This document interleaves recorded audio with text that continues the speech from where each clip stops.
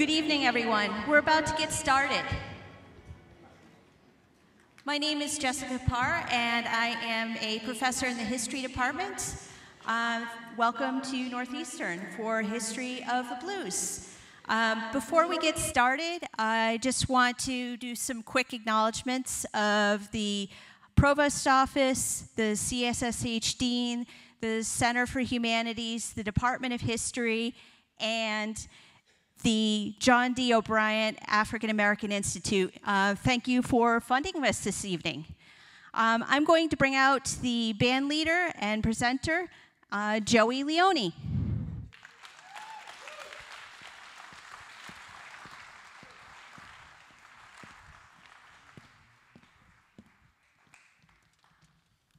We're going to take a short break. I'll be right back in a couple of minutes.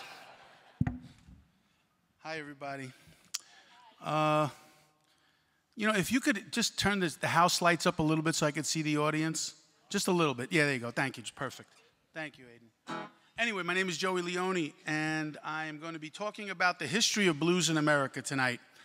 And I've done this presentation over 200 times across the country, and every night it's a little different, as it will be tonight. Uh, my background is I've been a professional musician for 47 years.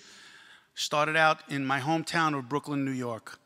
And how does a young Italian kid from Brooklyn find out and become an expert lecturer about the blues in America? Well, it starts off with a story about my mother. Her name was Rose, and Rosie was a great singer in her time. She went by the name Rose Lorraine, and Rosie was a singer in the big band era. And we came from very humble backgrounds. Uh, and we were living in a tenement building in the inner city of New York. And my mother was a singer and toured in a band before she succumbed to retinitis pigmentosa, which made her blind. But Rosie was a great singer, and I'd hear her singing songs like The Man I Love and Summertime and God Bless the Child. And Rosie, who was incapable of lying, she was, she was out in the brain, out the mouth type person. And she told me one day that she had auditioned for the great Glenn Miller. And uh, she said that she auditioned for Glenn Miller, and Glenn Miller told my mother, Young lady, you're a hell of a singer, but you sound more like Ethel Waters than uh, Helen Forrest, who was a professional singer in that era. And that stayed with me. And Rosie used to listen to records by Ethel Waters, Billie Holiday, Bessie Smith, and great African American blues and early jazz singers. So I had this little magical piece of paper it was about that big. It was called the New York City Library Card. And with that little library card, I was able to go around all around New York City, go to libraries, and I would listen and study about everything musical. But mostly, I was really attracted to the blues. For some reason, the stories and the sound of the music and the personalities of these great, great heroes of American music just got to me at a level. I was only nine years old at the time when I started to go around listening to these guys. And then the librarians in New York City started to know who I was and started to recognize me. And then they'd be like, hey, we just got this book here. Well, you might want to see this. Oh, we have this record. Some of the libraries in those days, you could actually listen to records, and they would even let you take them home. Um, so I started to listen to this blues music and really start to understand it and really, really, really start to love it at a very early age. Now, Historians tell us that the blues started in the delta of Mississippi. That's where a lot of great African American blues musicians came from. Uh, in the post slavery era, in the sharecroppers, they would get together at plantations and they would hang out on the weekends and go to these plantations in places called juke joints. A juke joint is kind of like an impromptu little nightclub with hardwood floors, open ceilings, and, and, and, and walls where they would dance, drink corn liquor, cuss, sin, and do a lot of other blues oriented behaviors that were very much frowned upon in the church. Uh, and the centerpiece of this culture was the musicians. Most of them played acoustic guitars. And sometimes there would be a piano in a, in a more hoity toity uh, juke joint. You'd have uh, pianos. But most of these musicians from the Delta uh, played acoustic guitars. Now, where did they get this music from? Well, here's the interesting beginning of the blues, ladies and gentlemen. And historians uh, have been talking about this. This is well studied, and these musicians are very well documented, considering there's not even pictures of some of these guys, or maybe one picture, and, but there are recordings. Now, these musicians would go to these juke joints and play for tips, play their acoustic guitars. But the blues music that they were playing, the chord forms and the melodies were the first amalgam of the African influence working in the fields, and which you'll find this uh, pattern repeating itself over and over in history, we find that the Europeans, English, and Irish and Scottish tradesmen and sailors who came over to work in the South brought their folk music with them and their chord forms. The African American musicians, many of them were so incredibly talented that they picked up on everything. You know, a good musician their ears are like a sponge and they absorb everything around them. Every, so they're taking that, the, the, the influence of Africa and the rhythms of Africa and the oral history. Because remember, in the Jim Crow South, and especially during days of slavery, African Americans weren't even allowed to communicate with each other. So they had to communicate with each other through uh, double entendre and, and a lot of different uh, ways of communicating with each other. And much of it was through the music. And you'll hear some of that double entendre in some of the songs that I'll play tonight. Um, but this is a place of extreme, extreme sadness, pain, misery, the days of slavery. Uh, these musicians were playing, many of them were playing for the slave owners and playing music, giving them fiddles and having them play classical music. There's also documentation of African American slaves dressing up in formal clothes and playing classical music without the benefit of reading it, only because they had great ears. Now, you see this music start to develop, this African influence. And then, of course, what they call the field holler. When the African Americans were working in the field, in the plantations, they would, they would work in rhythm and they would have the guy who called and he'd be like, Get up in the morning. And then the other guys would all sing in the chorus, Get up in the morning, work to the break of day, work to the break of day. And that's how they kept going. They, they kept their spirits up. Um, as a young fella, I knew the history of the South but the music didn't sound sad to me. A lot of people think the blues is a sad music. It never seemed sad to me. It sounded like music of great victory. It sounded like music of, of, of people in terrible situations making beautiful music out of it. Like almost like a geologist would explain how you make diamonds. You know, there's this cataclysmic event, and this beautiful, pure thing happens out of it. Well, historians like myself and musicians like myself, really believe that that's where the blues came from, and that was the, the, the way it started to happen. These early blues musicians, people like Charlie Patton, Son House, Willie Brown, they were all from the Delta of Mississippi, and they played a place uh, in Mississippi. One of them was called, uh, it was, was a plantation, John Dockery's plantation, Dockery's farm. And it's been well documented that sharecroppers during the post slavery era would get together on the weekends and listen to these guys play. And they didn't have any amplification or microphones like I have. Um, so it was kind of tiring for them. So they'd have two or three of them playing in one night. Well, at that time in the country in the early 20th century, we start to see the advent of the recording business and making of records. And record companies in those days, many of them were independent labels who really specialized in niche music. So if you were an Italian American, you would hear music and, buy records from local record distributors of your ethnic music. If you were a Eastern European or if you were Chinese, these records were made for you. Well, some industrious person in the record business realized that this great music that was being played on these plantations was something that could be sold to African Americans. They were making enough money that they could buy records. Well, these records start to be made in the early 1920s.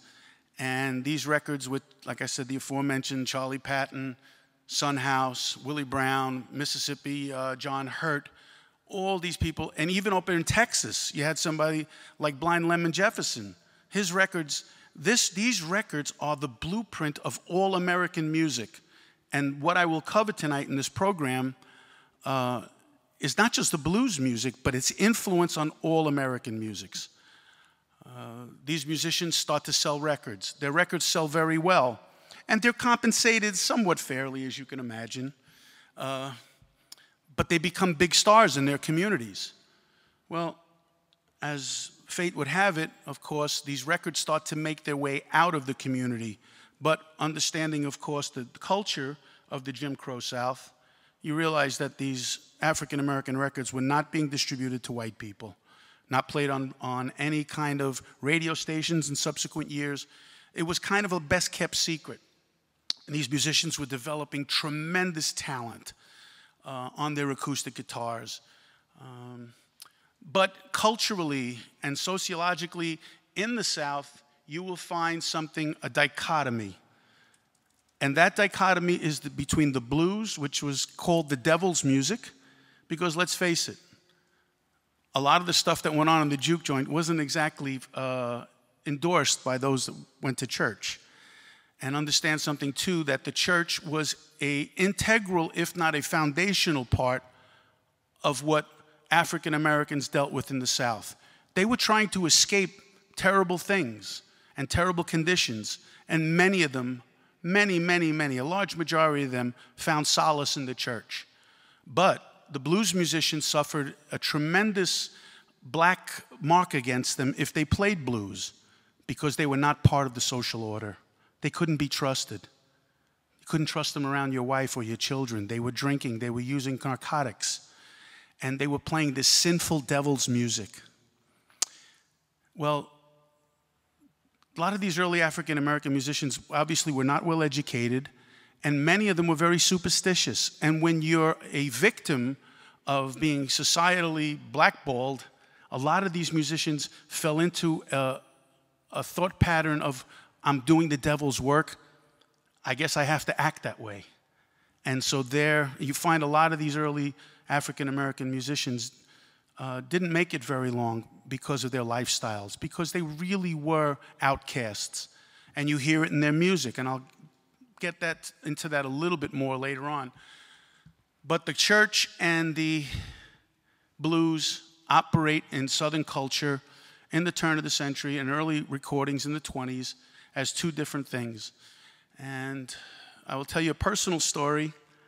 Uh, I've only had two jobs in my entire life. One of them was as a musician, and the other one, I was a board certified dialysis technician. I worked in dialysis in Brooklyn, New York. And uh, I worked with a lot of African American people from the, the, the, West Indies. And uh, to make a little extra money, I started to take home dialysis patient. And I started to give a guy dialysis treatment at his home. And so I would work my day job, and then three days a week I would drive to his house in Hollis, Queens, which was a hotbed of music. That's where Louis Armstrong lived. That's where Run DMC ended up coming from.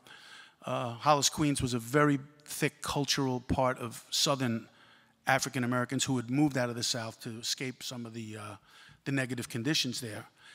So this guy's name was Franklin Johnson. And Franklin had this young Italian white guy coming into his home, giving him dialysis treatment. And after I got comfortable there, I asked him if it would be all right if I listened to some music while he was on the machine for five hours. And he said, Sure, I guess so. And when I started playing blues, he was in shock. He was like, What? What is this? I was like, Oh, that's the blues. I like the blues. You like the blues, Franklin? He goes, Man, that's the music I grew up listening to. I'm from the Delta of Mississippi. I'm from Grenada, Mississippi. I said, Oh, really? And then as I got to know him better and know his family better, they all knew about this great music and they all played and sang and danced and played washboards and it was incredible. And uh, after, you know, I was his dialysis technician for three and a half years. Spent three days a week at his home for three and a half years. And about two years into it, we were like brothers. And he said to me, he said, Joe, someday I'm going to take you down to the Delta. I was like, oh, Franklin, thank you, you know? And he was a sick man on dialysis. One day I showed up at Franklin's house and he said, Joe, he had a piece of paper. He said, We're going to Grenada. I said, What do you mean we're going? He said, I booked dialysis treatments down there and you're going to get paid to come down there and treat me on dialysis and we're going to go down and visit my family in, in uh, Mississippi. I was like, what? He's like, yeah. And he pulled that old Chrysler Imperial out of the barn, which had a lot of dust on it. And he said, yeah, I'm driving down. And we drove down to Mississippi. And the good Lord blessed me with two weeks of amazing culture authentically. And I don't think I would have ever gotten a, a truer education if I had went to any large educational uh, university or college. It was amazing. When I went down there, I learned a lot about African, uh, you know, uh, African American culture, food, and and some of their, you know, the etiquette involved in that culture. Um, because this was 19, early 1980s in Mississippi. A lot hadn't really changed since the 40s and 50s. We walked into a little bar, and there was a man there named Houston Stackhouse. And for my first musical selection tonight, I'm going to play you the song that he was playing there. And there's two songs I'm going to play on this instrument here. This is called a dobro or a resophonic guitar. It's made out of brass and it is coated with nickel. And it was originally done played by Hawaiian musicians, but a lot of the blues guys ended up playing them because they were so loud and so boisterous. Um, and it was made. These were actually made by uh, originally made by two Polish immigrant brothers um, who lived in the Midwest called the Dopyera brothers and they made these guitars because they didn't have access. They were metal workers, and they made guitars out of metal because that's what they knew. And that Dopyera Brothers, Dobro. That's how we get the name Dobro for these uh, acoustic guitars. So I'm going to play two selections here. One of them is one that represents the blues and the sinful nature of music, and the second one will be a sanctified church song that will sound very similar to you because the musical content is exactly the same, but the lyrics, obviously, and the intent were different. The name of this first song is called Canned Heat Blues, and this was done originally by Tommy Johnson in 1927. Uh, the Canned Heat Blues talks about canned heat. Canned heat was, believe it or not, sterno. You used to use it, it was grain alcohol, and it would keep things warm. Uh, you see them sometimes in catering halls. Well, that was grain alcohol, and a lot of the poor folks down there couldn't even afford corn liquor, and they would drink canned heat. Many of them died from it, and many of them got very sick from it. But here's the Houston Stackhouse version. I'm going to play it for you right here on my little dobro. Crying canned heat, can't eat mama. Crying canned heat, killing me. When I woke up this morning, canned heat was on my mind. Can't eat a who, can't eat mama, killing me.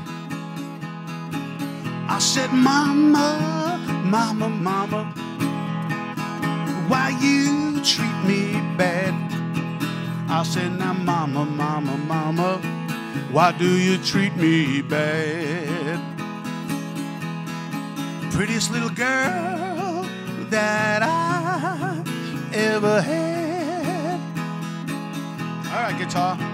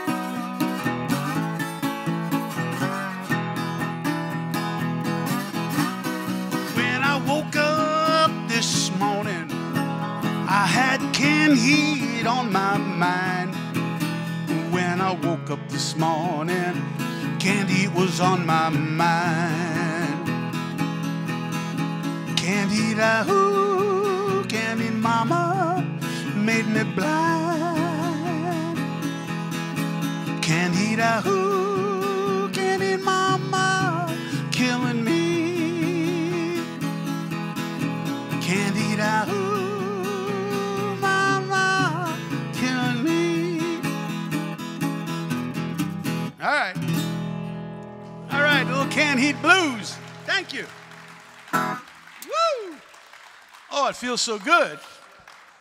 Stay away from that canned heat now. Don't be drinking it. All righty, so uh, I'm going to talk about the church music now. Now, when I was listening to these early records, one of the records that influenced me the most, and one, interestingly enough, influenced a lot of great guitar players out there, like people like Ry Cooder and David Lindley and Stefan Grossman, great guitar players, was a man named Blind Willie Johnson. Blind Willie Johnson was blind, uh, but he was an amazing guitar player. He, he played only sanctified music. He was a sanctified preacher, but his records are some of the most, if not the most important pre war. Now we're talking pre war, pre World War II blues music. Uh, that's one of the, the, um, the monikers that you'll hear when you learn about the history of the blues, pre war blues. And they were usually solo guys unaccompanied. Sometimes you'd hear jug bands, like the famous Memphis Jug Band, where they had jug band music, but a lot of it, the, the pre war blues, was solos. Well, Blind Willie Johnson's records are some of the most licensed and, and, and played records from that era, even more than, than Charlie Patton or Son House or some of these other great Tommy Johnson, Blind Lemon Jefferson because of his sound of his voice. His voice was almost like a throat singer. He was like, mm, you know, almost had like that kind of sling blade kind of vibe. But I remember playing his records in my house. My mother, who was a singer, was like, boy, he's, he's got some voice, that guy. And I was like, well, Ma, that's Blind Willie Johnson. Blind Willie Johnson, of course, was blind, as I said. And these men are such important historical figures that they've been researched. And in the, in the time of the internet now, we're finding out things now about these guys that we didn't know. Uh, there was only one picture of Blind Willie Johnson, and it was a picture of him sitting there in a suit, looking very reet petite, and uh, he wasn't wearing any glasses. You could see his infirmity. And one of the early quotes I read in a book um, in a library in Brooklyn, they talked about Blind Willie Johnson, and he said, they asked him why he didn't wear dark glasses like Ray Charles did, and Jose Feliciano, and Stevie Wonder, and other blind artists. And he said, If the good Lord intended me to be blind, I wasn't going to cover up my infirmity. Which I thought was kind of poignant because the fact that my mother never wore dark glasses. She always uh, wore just, uh, you know, regular glasses that, that she could. But Blind Willie Johnson, we find out years later, wasn't born blind. He was blinded in an accident in his home, and his mother and father, during a domestic squabble, she took lye, which they used to use in, in to clean things in the, in, in the South, and threw it at the father and missed him and hit him in the face with it and blinded him. So Blind Willie Johnson was blinded from the, from the 10 years old. So that's kind of like some of the tragic things that you hear about some of this music. But then again, it's victorious music because Blind Willie Johnson went on to make spectacular records. Here's one that was covered by a lot of different people, but I'm going to give my little version of it Blind Willie Johnson's Nobody's Fault But Mine.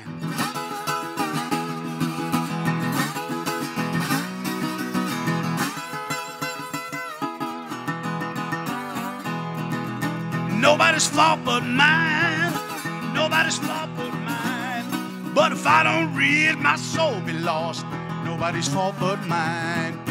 I got a Bible in my home. I got a Bible in my home, but if I don't read, my soul be lost. Nobody's fault but mine. Nobody's fault but mine. My sister taught me how to read. My sister taught me how to read. But if I don't read, my soul be lost. Nobody's fault but mine. Nobody's fault but mine. Yeah.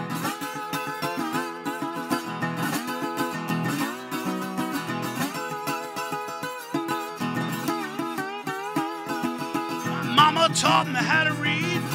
My mama taught me how to read. But I don't read, my soul be lost.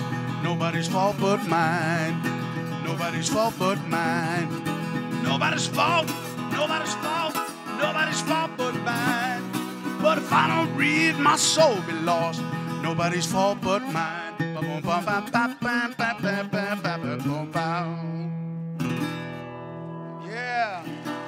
Sanctified music from Blind Willie Johnson. Thank you. I'm going to play one more song on this one before I bring the band out. But I got to retune the guitar. When I retune the guitar, I'm going to tell you about the most famous Delta blues musician. I'm sure you've heard of him. Name is Robert Johnson. Not related to Blind Willie Johnson. Robert Johnson is the most celebrated Delta blues musician. His records sold incredibly well, and you ask people like Keith Richards or Eric Clapton or the great Peter Green from Fleetwood Mac, these great British blues musicians, uh, they would tell you that Robert Johnson really was the blueprint of a lot of British blues and, and music. Well, Robert Johnson, the story of Robert Johnson is.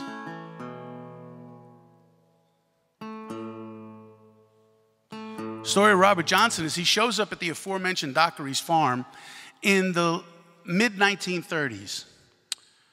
And he shows up, young, skinny kid with these really long fingers, but wearing a t shirt and tore jeans. And he asks the great Charlie Patton, who was already a superstar, um, and, and uh, Son House, who were playing there, could he come up and play a couple of songs? And they're like, sure. Robert Johnson comes up and plays and is booed off the stage immediately and basically shown the door. And in those days, you know, you see it probably in the old movies or cartoons, and you played at a plantation, there was plenty of vegetables available for them to throw at you. So, you know, the story is that Robert Johnson got, uh, got pelted with veggies and left there embarrassed, never to be seen again, they thought. Well, Robert Johnson left, and nobody saw Robert Johnson again for three and a half years. But when Robert Johnson showed up again in 1937 at Dockery's farm, he was the greatest singer and guitar player that anyone had ever heard. Was the greatest blues musician of his time. Now, here goes the legend of Robert Johnson. Robert Johnson sold his soul to the devil to become the greatest blues musician in the world. That was the legend. They made movies about it. Robert Johnson sold his soul to the devil to become a great musician. Well, what did Robert Johnson do for that three and a half years? Well, he probably put those 10,000 hours in that you hear about these days. Uh, I don't think he sold his soul to the devil, but that was the legend of Robert Johnson. But understanding the cultural aspect of what we talked about before, about the, the, the blackballing and, and the misery that the blues musician, Robert Johnson wrote songs about hellhounds on his trail and about how Satan was after him and he was chasing him and he was playing the devil's music and he embraced it. Robert Johnson was a sinner. He liked to drink, he liked to carouse, he, liked, he was a womanizer. And Robert Johnson, of course, is discovered by a man named John Hammond, a man who uh, was the heir to the Hammond organ uh, fortune. John Hammond discovers Robert Johnson. John Hammond's discovered many people. He discovered Bessie Smith. He discovered uh, Billie Holiday, discovered Count Basie. Years later, in his later years, he even discovered Stevie Ray Vaughan. Uh, very important figure and impresario in music. So, so he gets him, uh, Robert Johnson a recording contract. Robert Johnson's records sell immediately. And here's where you see this archetype of the singer songwriter, which years later went on for people like Woody Guthrie. And then years later, you know, people like Johnny Cash and Hank Williams Sr., you know, the singer songwriter, Buddy Holly, and eventually the Beatles. Robert Johnson shows up with an attache case full of original music. Now, in the days of the blues, you got to remember that most of the musicians were borrowing songs from each other. Nobody knows where they really came from. If you see a lot of the old blues records, it says traditional arranged by when it says who wrote the song, because they really don't know who wrote the songs. Robert Johnson's songs were all original songs Terraplane Blues, Crossroad Blues, uh, Four Until Late, all these great songs that Robert Johnson wrote. Sweet Home Chicago, which of course was made famous by Buddy Guy and Junior Wells and eventually by the Blues Brothers. Robert Johnson is, is now remember too, he, he shows up in the late 30s, which is 10 years after people like Furry Lewis and you know Charlie Patton and Son House. So they're kind of fading out, and here comes Robert Johnson. Well, Robert Johnson, of course, the legend is, and there were people who witnessed this. On a night, he's playing in a, a, a juke joint or a private party, and he was drinking corn liquor out of a mason jar, and he was messing around with a married woman. And Robert Johnson messed around with a lot of women. And uh, that night he messed around with a married woman whose husband was quite jealous, decided he was going to spike Robert Johnson's corn liquor with poison. And Robert Johnson was poisoned. And the story goes that Robert Johnson, from what people said, of course, living into the legend of Robert Johnson, rolled around on all fours for three days, howling like a wolf before he succumbed to his poisoning. Now, why didn't Robert Johnson seek medical help? Nobody really knows. But in those days, African Americans uh, didn't have access to great health care. Uh, they might not have had the money. And also understanding that guilty conscience. Who knows? Maybe Robert Johnson, in some corner of his mind, felt like he deserved this fate. He dies. There's a big concert going on in New York City at Carnegie Hall, promoted by John Hammond. And he goes down to find Robert Johnson to play at this called the Spirituals to Swing concert. You can find that on record. Uh, it's still available. The Spirituals to Swing concert, where Robert, uh, where, where John Hammond brought African Americans from all over the country playing music, from spirituals to jazz, every kind of African American music. But Robert Johnson wasn't there; he was gone, and the greatest blues singer was not around. I will tell you one other quick story, and I'm probably going to go a little long tonight, so if, if, if, it's okay, if you all got appointments, then too bad. Anyway, so uh, interesting story about Robert Johnson. Ry Cooder was trying to recreate the recordings of Robert Johnson by recording in the same hotel room that he recorded in with the same microphone, the same record cutting machine in the room after that, with the same acoustic guitar, the same walls, everything. They recreated the Johnson, um, Robert Johnson uh, recording in a hotel room, and he couldn't get the sound. And then he read the uh, engineer, I think his name was Spear, uh, wrote notes about the recording session. He said when he came in to check Robert Johnson's microphone, he had found that Robert Johnson had taken the microphone and put it in the corner of the room and was facing the wall with the microphone between him and the corner of the room. And the legend was that Robert Johnson turned into some kind of demon to be able to recreate this music. And many people believed that he had done this because he didn't want anyone to see the transformation that would happen to him to play this devilish music at the level that he needed to do it at. Well, interestingly enough, of course, there's a, an actually mechanical reason and a, and a rational reason why he did it. Because when you face an acoustic guitar towards a corner, these are monitors here. So it's shooting my vocal and my guitar sound up so I can hear myself. But in the days of Robert Johnson, there weren't those things. But he would sing into the corner of the room so his voice and his guitar would bounce off the wall and he could hear himself. Also, his guitar was made out of spruce, the top of which is a very uh, vibrant wood, a tone wood, and it would vibrate from the, the vibrations and the, off the wall. So that's why Robert Johnson did it. So it wasn't that he was, uh, you know, taken in by the devil. I'm going to play a little bit of Robert Johnson's music right here, and this is one of his most famous ones. This is called the Crossroad Blues.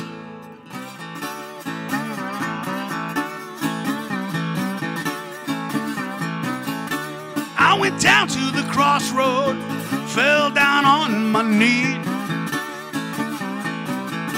I went down to the crossroad, fell down on my knee. I asked the Lord for mercy.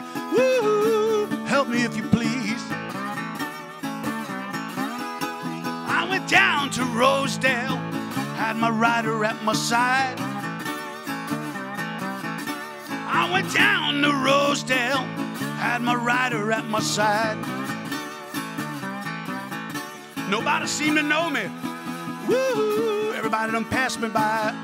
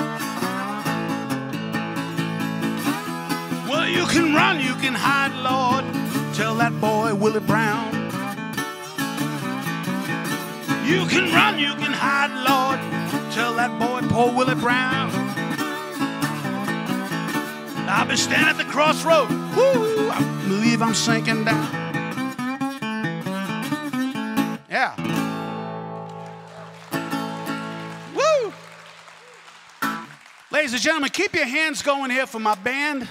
A men, men I've traveled all around the country with on the drums, the world famous Sparky Sandler. Yeah. And my brother from another mother, Mr. Earl Irving on the bass.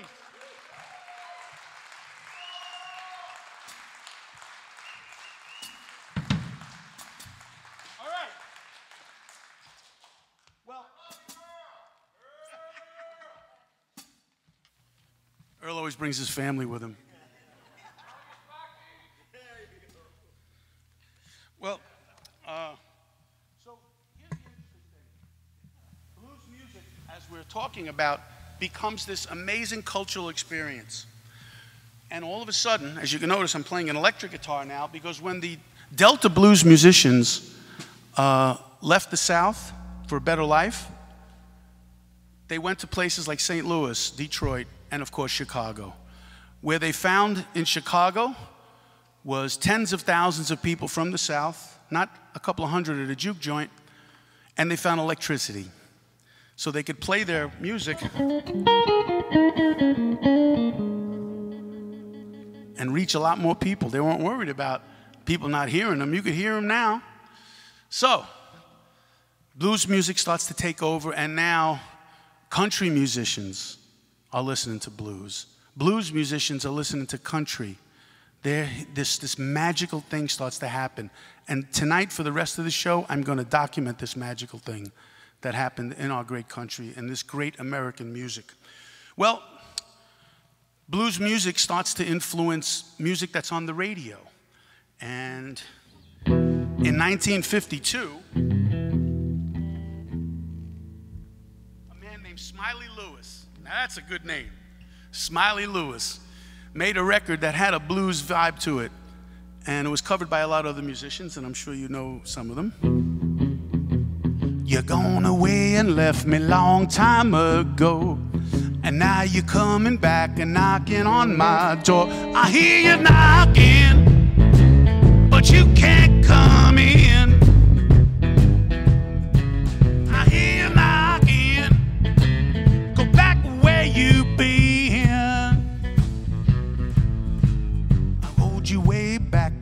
1952 that I would never mess with you. I hear you knocking, but you can't come in. I hear you knocking, go back where you've been.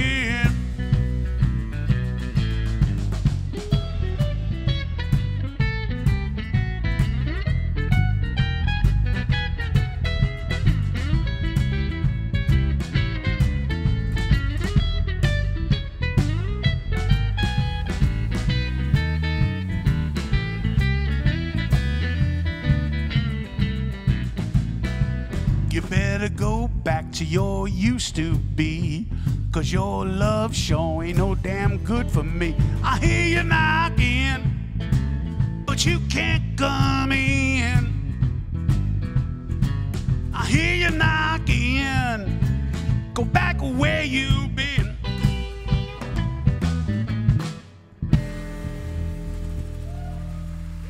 Autumn, you can give me a little bit more monitor for my vocal, please.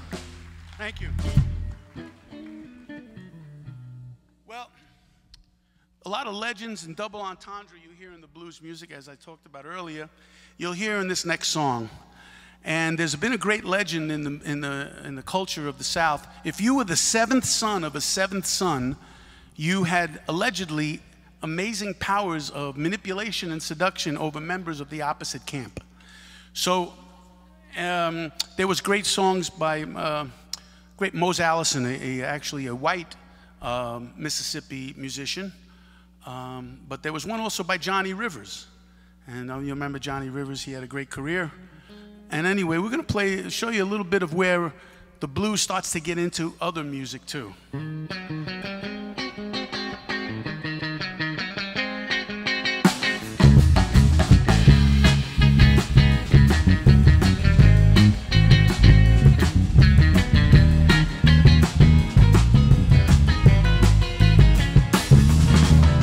Everybody talking about the seventh son. In the whole wide world, there is only one, but I'm the one Yeah, baby, I'm the one.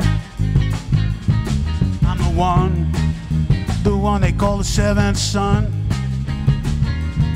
I can tell your future, it'll come to pass. Talk real slow and make your heart beat fast. I look at the sky and I predict the rain. I'll tell if you're warm and kiss another man, cause I'm the one. Yeah, I'm the one. A little bit more vocal, please. Yeah, I'm the one. The one they call the seventh son.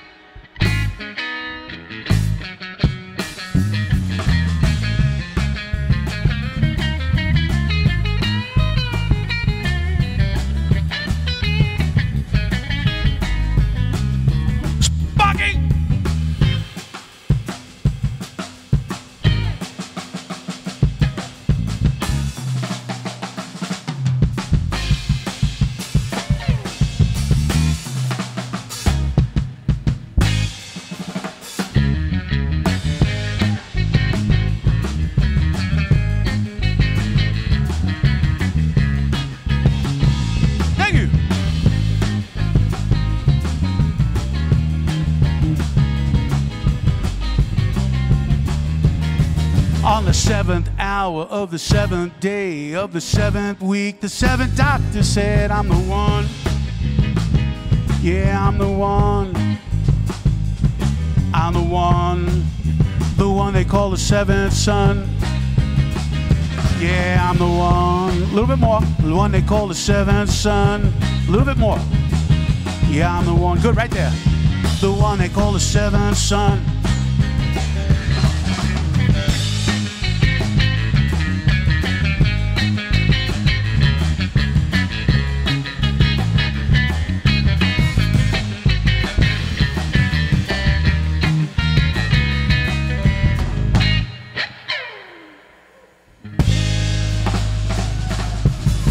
Seventh son of a seventh son, baby. Yeah. Woo! Now you'll notice, uh, you can take it down a little bit now, it's starting to feedback a little bit.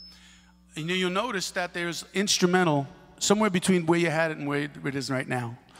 You'll notice right there. You'll notice that there's instrumental parts in the, some of these songs. And there's two reasons why you'll see instrumental breaks in the middle of uh, these blues and rhythm and blues songs. One of them is because musicians love to show off. They just love to show you everything they learned on their instrument. It's okay if you want to laugh, by the way. It's not that serious. Yeah, come on now. Jeez, I'm looking like I'm it's like an oil painting out there. yeah, come on now. I mean, I, Sparky drove all the way here from Brooklyn. I mean, come on. All right, so the other thing is that the other reason, yeah, the other reason, of course, is that um, because they would stretch the songs out because people would want to dance. And you know, you've been in social situations where a band starts playing and people don't really sure they want to get up and dance. The guy's looking at the girl, the girl's looking at the guy, is this idiot going to ask me to dance or whatever? And then finally they get up and dance and the band's, the song's almost over. So, but really, in the blues though, there's also a way that the musician is expressing himself through his improvisation. And some of this goes back to that secret language of the blues. You know, when you feel bad and you're feeling down or you want to seduce the crowd, you play something and the musicians would play with each other and they would be playing off each other and improvising. And that's some of the magic of the blues, which really started to turn into other styles of music like jazz, where the improvisation became almost the entire part of the song. Um, so we're going to play a song here done by a man named T-Bone Walker. Now, T-Bone Walker was a very influential blues guitar player, came from the South, moved out to Los Angeles, and became very influential amongst guitar players. But the first time many of us Caucasians heard of T Bone Walker was on a record by the Allman Brothers called Live at the Fillmore when Gregg Allman came out and said, We're going to play Stormy Monday by T Bone Walker.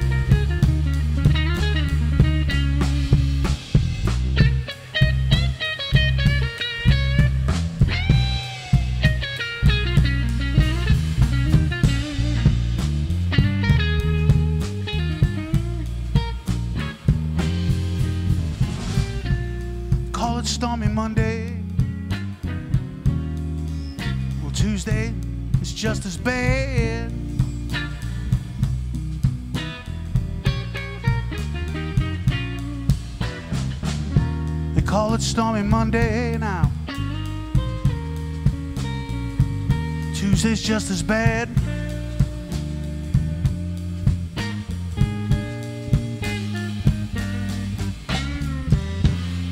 on Wednesday's worse.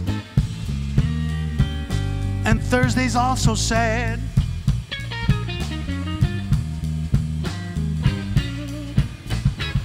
It gets a little better though. The eagle flies on Friday. Saturday I go out and I play, Lord.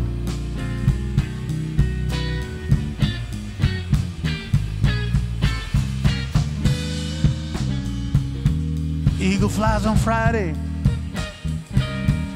Saturday I run out and I play.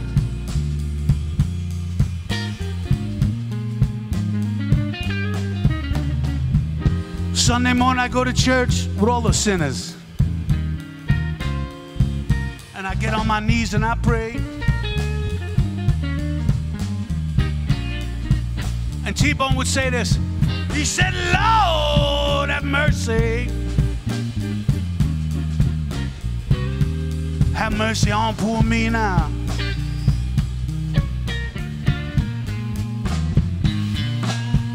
I said, Lord, have mercy.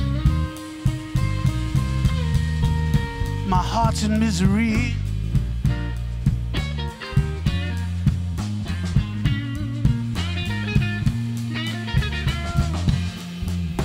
Gonna find my little baby.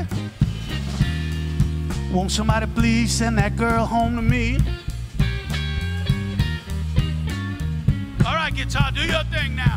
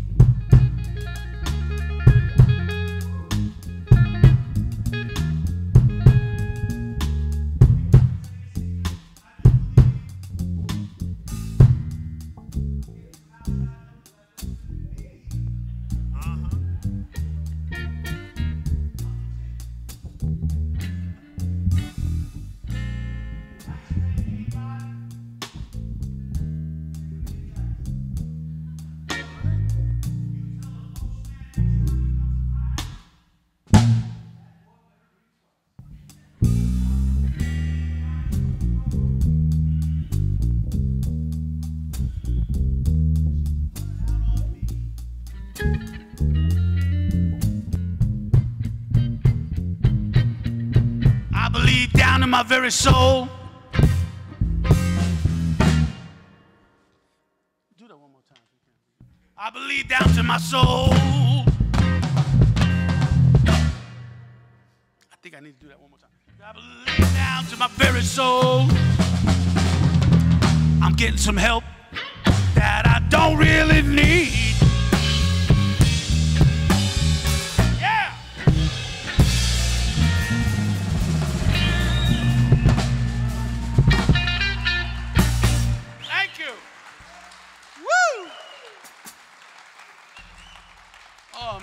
thank you, Earl, for helping me out there, son. Yeah. So the blues music now is taking over America. People are getting captured by the blues, and it's starting to sprout out. Like the river of the blues is so powerful that the water from this river of blues is making all these tributaries. Some of these tributaries become even bigger and more powerful than the blues. One of them is called rhythm and blues. Now, rhythm and blues, it has blues in the title, but it really is, it really is kind of a, a different version of the blues. It's a little bit more uptown, it's a little bit more sophisticated. And a lot of the blues rhythm and blues singers came directly from the church. People like Wilson Pickett, who I had the pleasure of working with, um, people like Sam and Dave, they all came from the church. And this man, who was a lead singer for a band called the Soul Stirrers, one of the greatest rhythm and blues singers, did this song. It's got a little blues in it, but it's really a love song. Where the blues songs had a little bit of harsher vibe to it, but the rhythm and blues. Sam Cooke, everybody. Darling, you send me. Mm, I know that you, you send me.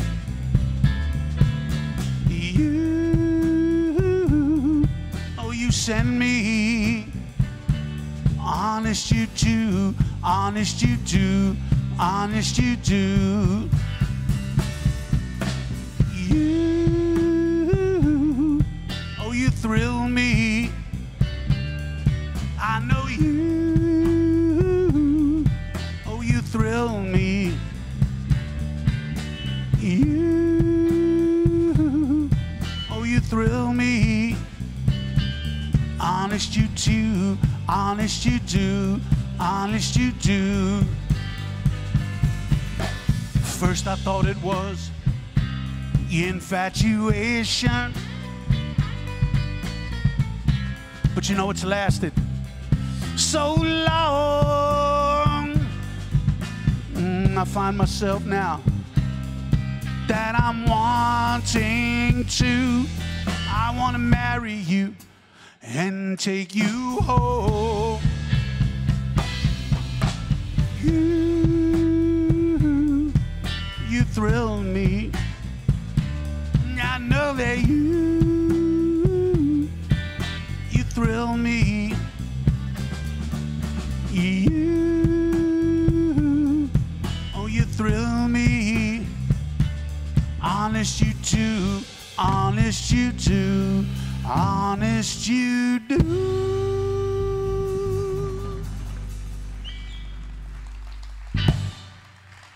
It seems that the vocal in the monitor is getting louder and lower as you're adjusting it in the mains. Uh, anyway, so rhythm and blues, man, you know, it's like, it's a big thing. And you know, in my career, one of the greatest accomplishments I've had in my career was I got to play with musicians who my parents had their records. And I got to work with the great Chubby Checker, of course, who was the biggest pop star in the world before the Beatles. And Ernest Evans from Philadelphia, his name was, was a great man, treated me very well. I produced a record for him, actually, that he ended up performing at the 1990 Super Bowl um, that I produced with him and the Fat Boys, uh, who were rappers from uh, New York City that I had worked with. But, you know, the interesting thing is the, is the tie-in of the blues and hip-hop music. You know, hip-hop music started in the 70s in New York City, and it was a roots music.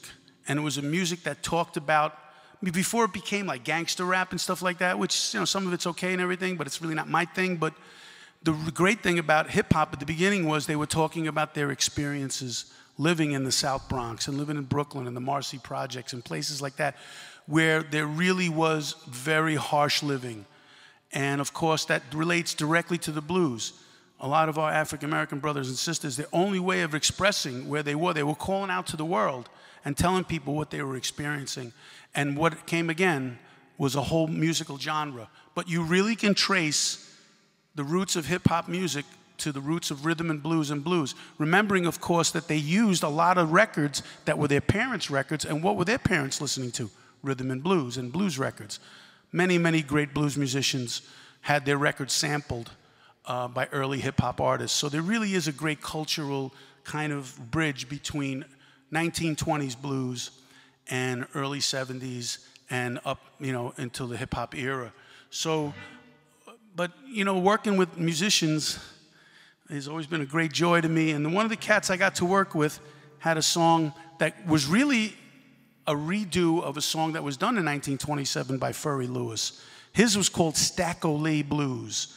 But then, of course, I got to perform it with the great Lloyd Price, and it went like this The night was clear, and the moon was yellow, and the leaves came tumbling down.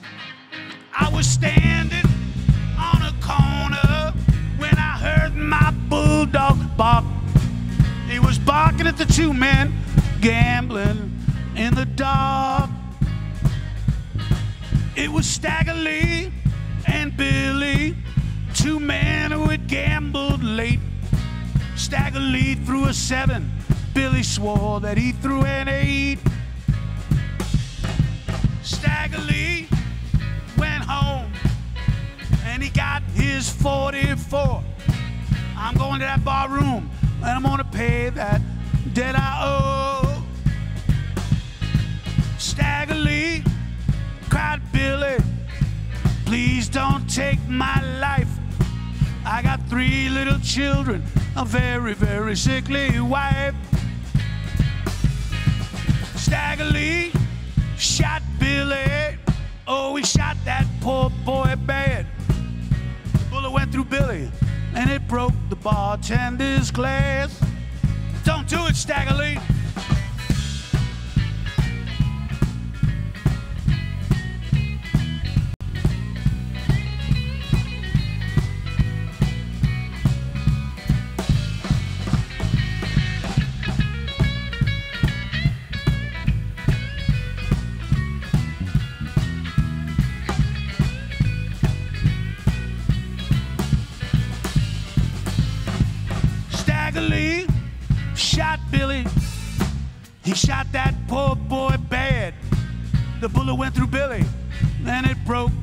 Bartender's glass. Don't do it, Stagger Lee. Go Stagger Lee. Go Stagger Lee. Go Stagger Lee. Go Stagger Lee. Go Stagger Lee. Go Stagger Lee. Go, go, go.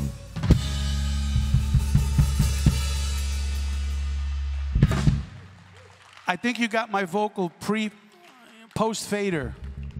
I think you got my vocal post fader because when you're adjusting the mains, you're adjusting the monitors at the same time, and it shouldn't be that way. And it's almost when I sing louder, it's almost disappearing on the stage.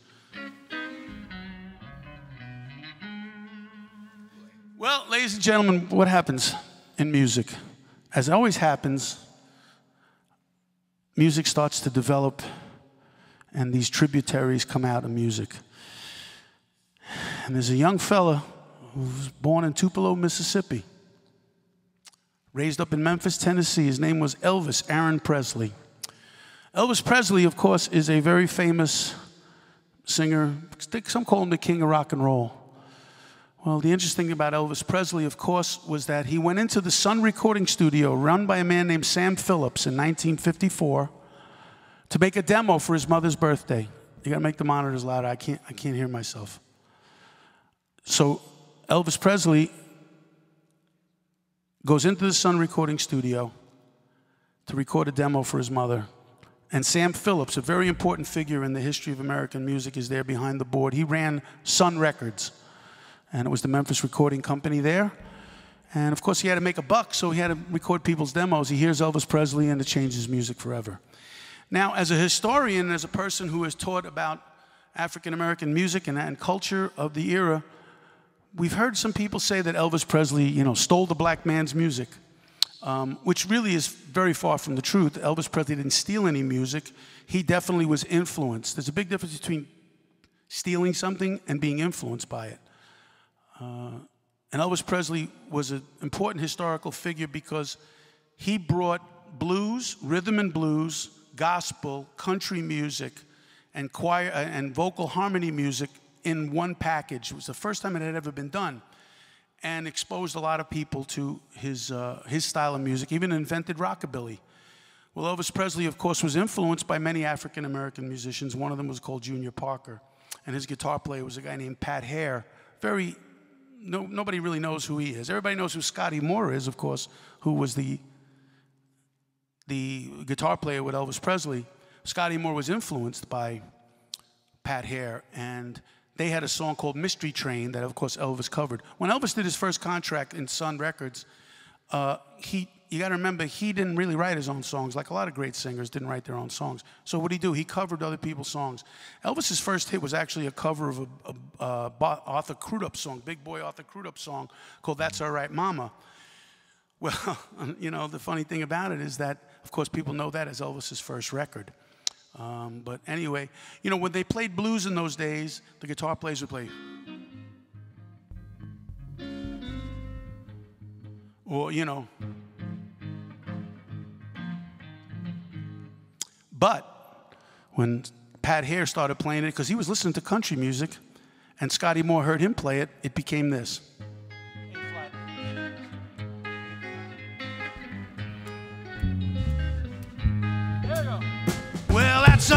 Mama. That's alright with you. A flat. That's alright, mama. Any way you wanna do, but that's alright. That's alright.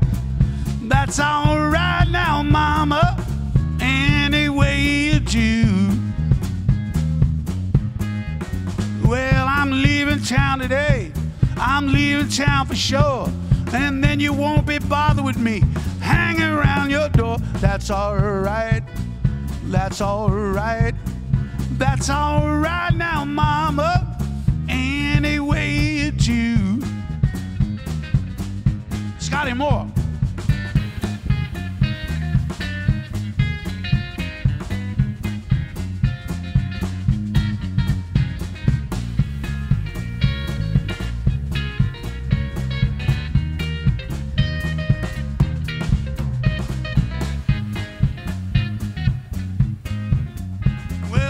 Da da dee, dee da da da do, dee da da da dee da da da dee da da da do. That's all right. That's all right. That's all right now, Mama. Any way you do. Well, that's all right now, Mama.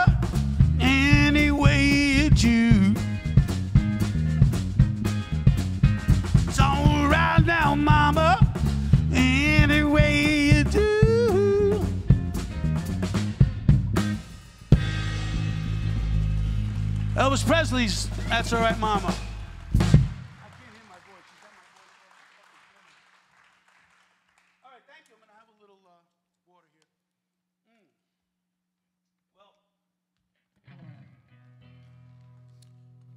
music is, is, is, such a beautiful thing. It's such a healing thing And it's a universal language, and you know, there's so much great music.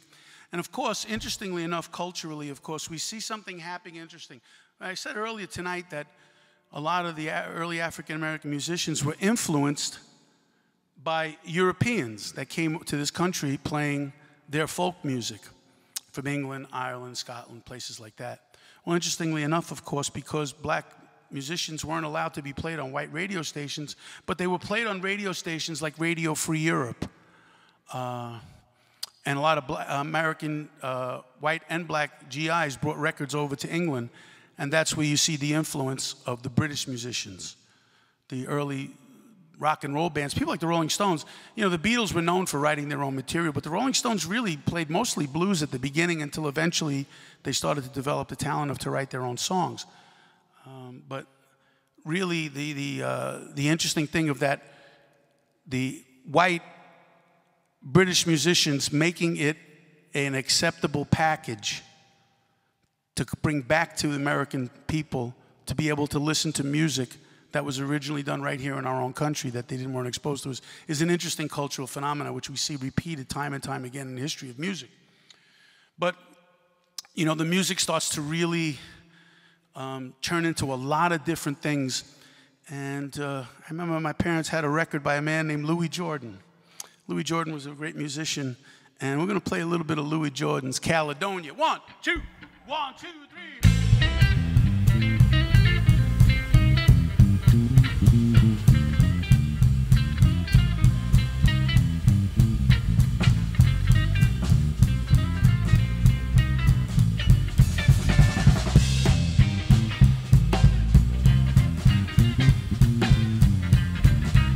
Sparky swinging them drums there.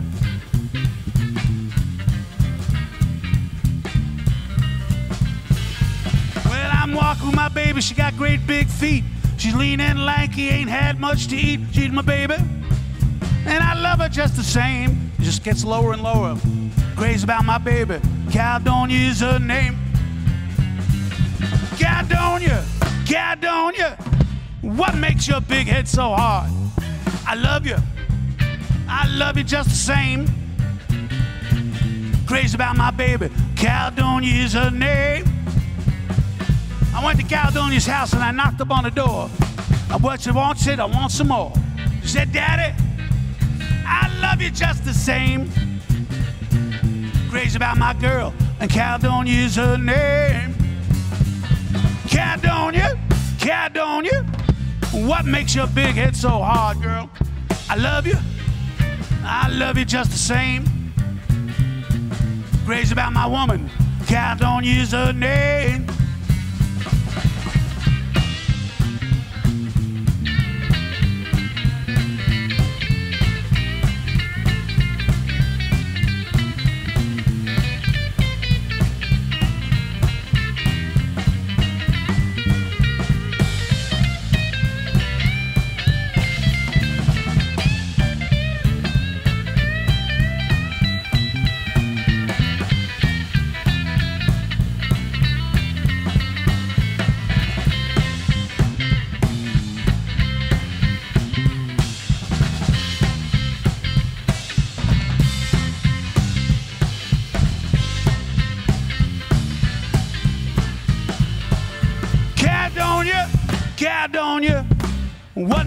Big head so hard?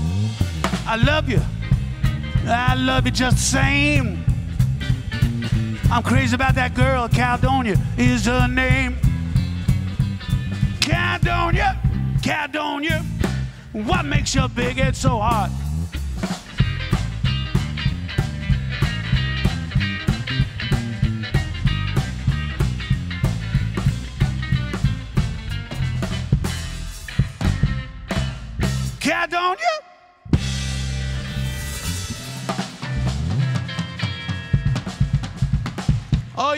Swing right there. Thank you. I appreciate it. Thank you. All right. Well, we're moving on the train here, the blues train here. And uh, man, I tell you, we got a couple more stops left. And you know, I said before, country musicians listen to the blues and blues listen to country music. I got a job many years ago with a great country band in New York City, and the guys in the band were very impressed that I knew how to play blues and rhythm and blues, and that I wasn't a country guitar player, which was a lot of fun. Uh, music is music. You look at those pianos, and it's got black keys and white keys, and they all work together. And those 12 notes, that's all we got 12 notes. But man, we can make a lot of stuff happen with them 12 notes. There was a man who played a little bit of blues in his own way. And he was a great American, great songwriter. He took the, uh, the plight of the American Indian. I remember hearing, as a guy who plays on many Indian reservations across the country, uh, the plight of the American Indian. Johnny Cash wrote a song called The Ballad of Ira Hayes, which I heard on his TV show in 1970. uh, talking about Ira Hayes. Ira Hayes was a Native American who was one of the men that held the flag up at Iwo Jima. But when he came back home after being a hero and was taking pictures of all over the world, he came home to the same sadness that many of our African American brothers found and sisters found in this country. And uh, Johnny Cash documented that as long as the plight of men who were in prison and had no representation. But Johnny Cash had the blues too. And you know what the best thing about it? He went.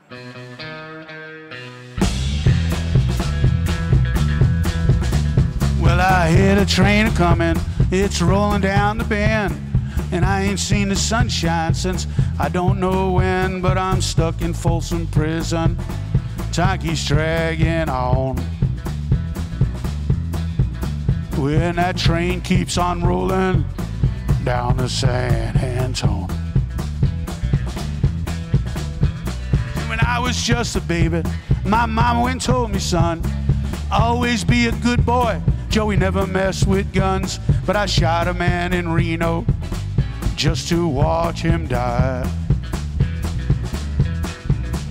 And I hear the lonesome whistle, hang my head and cry.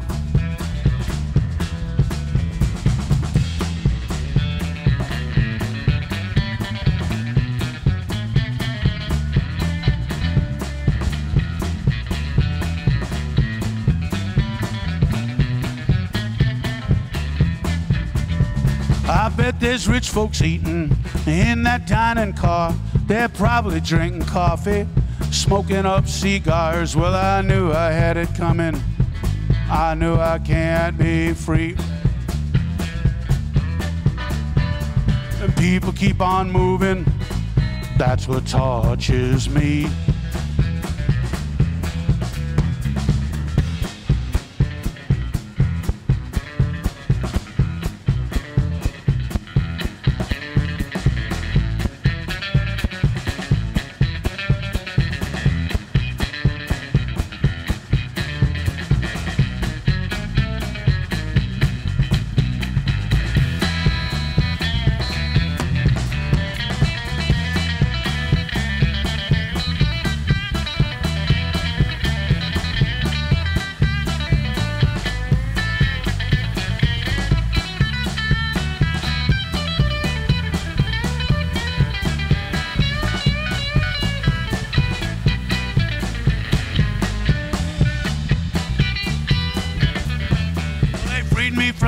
Prison, and that railroad train was mine. Probably move it over further down the line. I'm going out far from Folsom Prison, where I wanna stay. And I hear the lonesome whistle carry my blues away.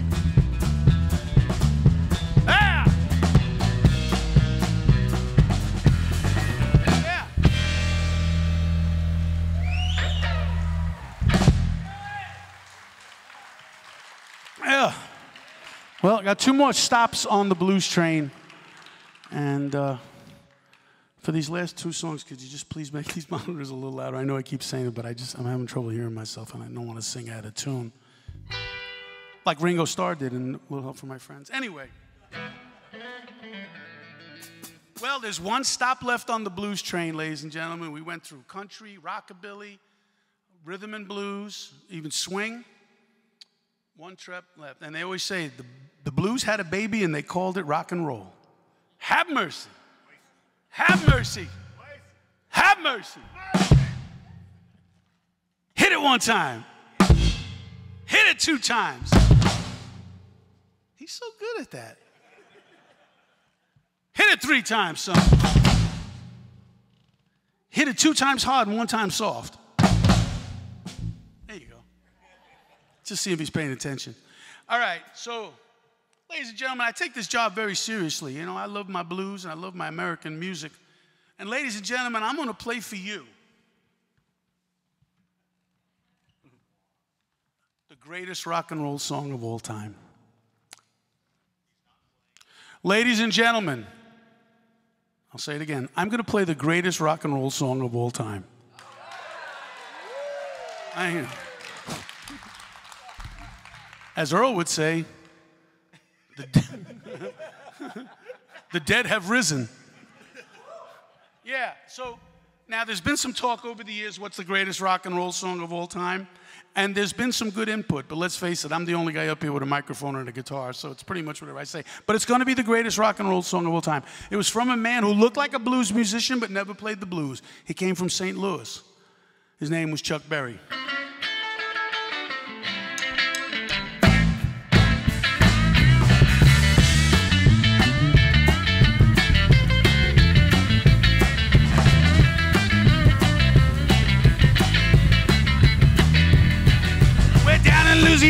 Bound to New Orleans, back up in the woods among the evergreens. Here's a log cabin of earth and wood. Well, there's a country boy named Johnny B. Goode, who never, never learned to read and write so well. He could play that guitar like a ring and a bell. Go, go. Go, Johnny, go, go, go. Go, Johnny, go, go, go. Go, Johnny, go, go, go. Go, Johnny, go, go, go.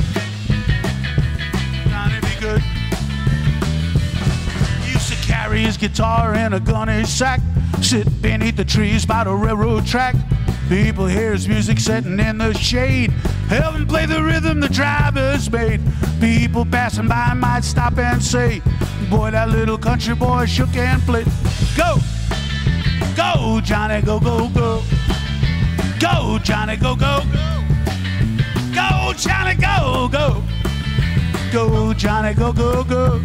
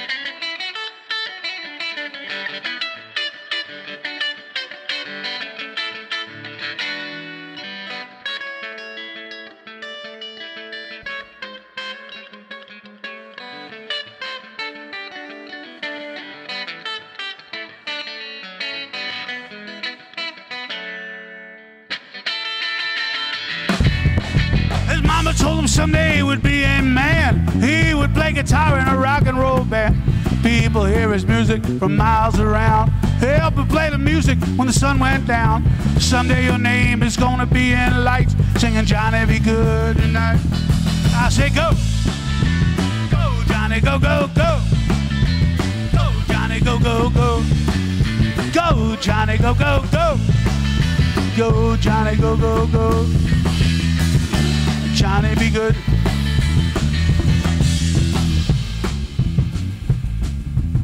On the bass tonight we have Earl Irving. Put your hands together. On the drums, Sparky Sandler. My name is Joey Leone, and I hope you enjoyed the show tonight.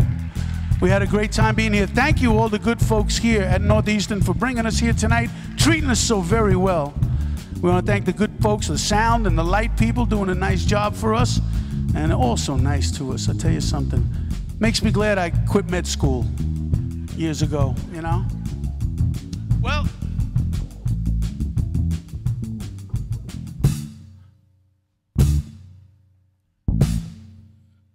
feels damn good doing this.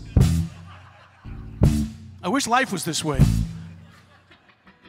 I say go, go Johnny, go, go, go. Go Johnny, go, go, go. Go Johnny, go, go, go. Go, Johnny, go, go, go. Woo, Johnny, be good.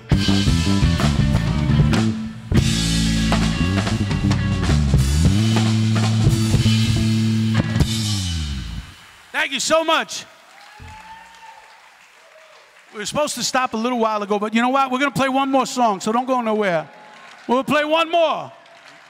And you know, all right, what do you play after the greatest rock and roll song of all time, I guess? I don't know.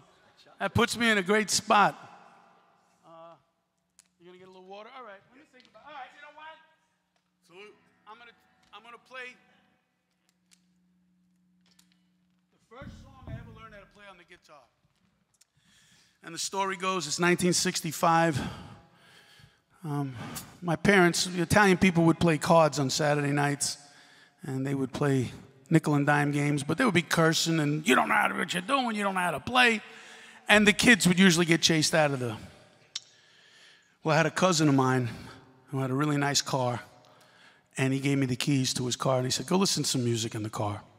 And it was 1965, and this song came out of the, uh, the, the, the speaker in his car. And it was a big hit record in 1965. Interestingly enough, though, it was originally a blues record by a man named Leadbelly.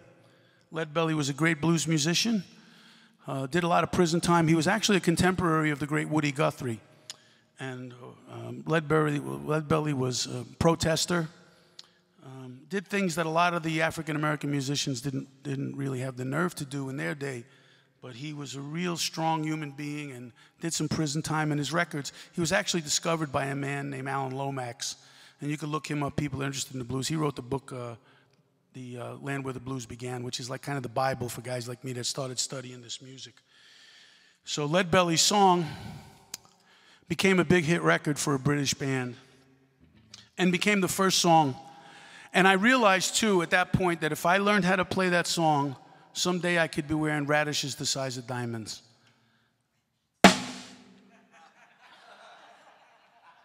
Radishes the size of diamonds.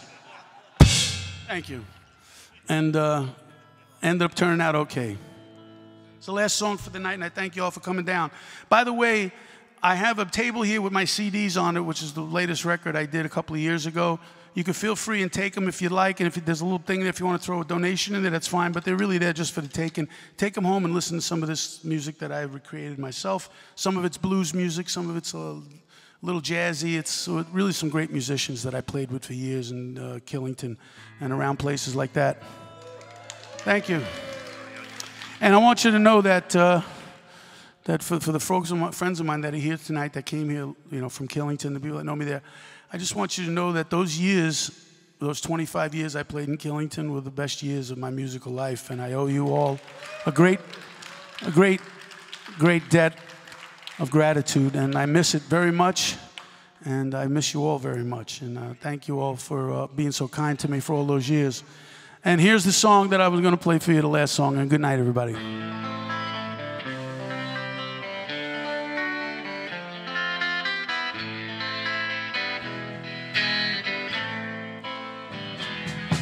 There is a house in New Orleans. Oh, they call the rising sun. And it's been the ruin of many a poor boy. In God, I know I'm one.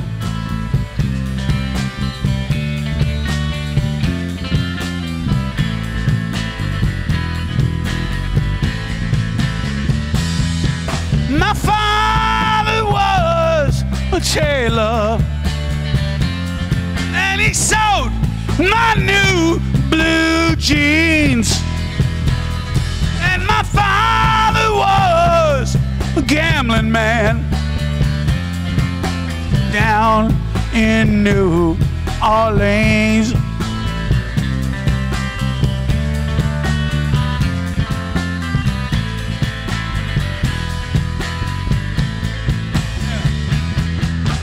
Mother, watch your children now. Not to do what I have done.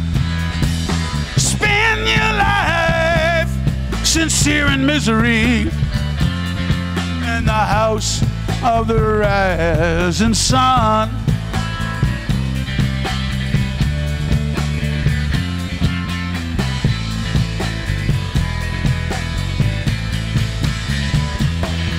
Now the only thing a gambler needs is a suitcase and a trunk. And the only time that he's satisfied is when he's on a drunk.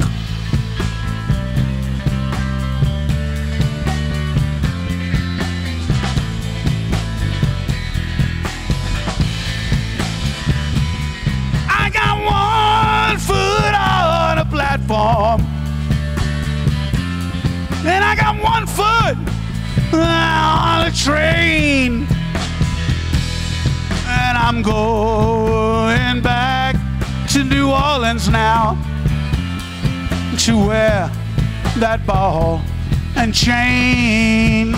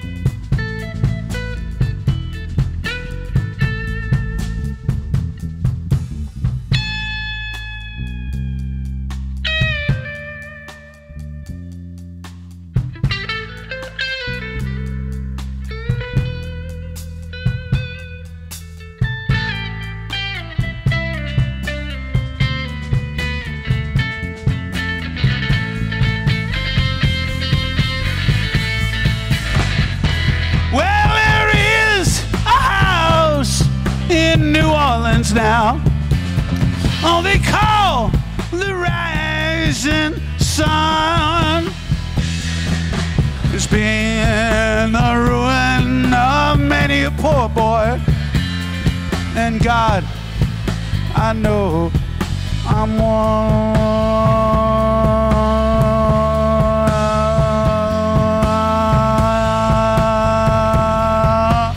Ah. Good night, everybody. God bless you. The history of the blues. Help yourself some of our music. Leave a donation if you like. It's okay. Earl Irving on the bass. Sparky on the drums, Joey on the guitar. Hope to see you all again soon. God bless each and every one of you.